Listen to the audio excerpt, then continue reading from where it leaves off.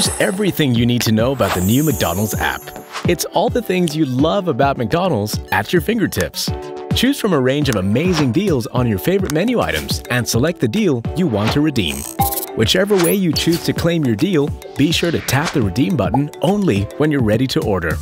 Next, activate the deal, which is then valid for 3 minutes. A timer will show how much time is left to complete your order.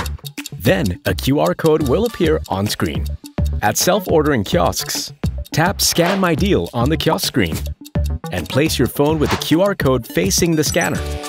Checking out with just your deal in your order will result in an error message, as the minimum purchase amount required to redeem the deal has not been met. Simply add more items and check out as usual. You'll receive a receipt with the deal printed on it when the transaction is successful.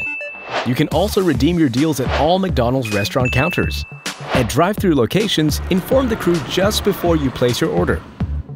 Tap the QR code on your phone screen to reveal the deal code. Read this code out loud for the crew member to apply it to your order. Finally, proceed to the payment window to make payment and collect your food. But that's not all. The new McDonald's app brings you more than just delicious deals.